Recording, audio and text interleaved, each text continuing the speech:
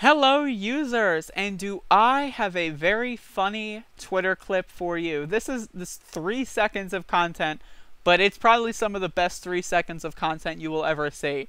So, without the sound on, you might be thinking, "Whoa, whoa, what am I doing signal boosting this? This looks cringe." Now let's turn the sound on. I'm sorry, I'm a boomer right now. You know that I think you're a disgrace to all Americans and New Yorkers. Uh, You know that I think you're a disgrace to all Americans and New Yorkers. You know that I think you're a disgrace to all Americans and New Yorkers. I You know that I think you're a disgrace to all Americans and New Yorkers. I love that shit. I love that shit. This is the shit.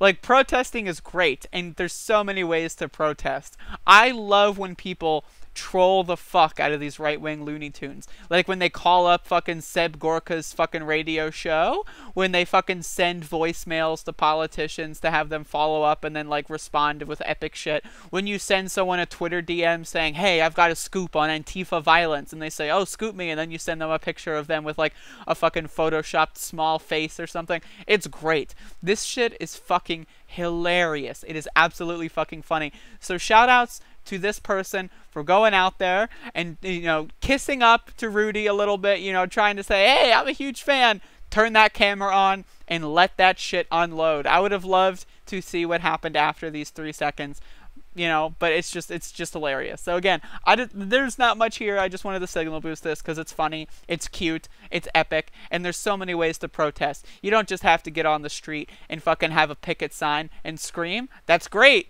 and you should do that but we let's think outside of the box. This is a multi-pronged front. Let's have fun with it. Thank you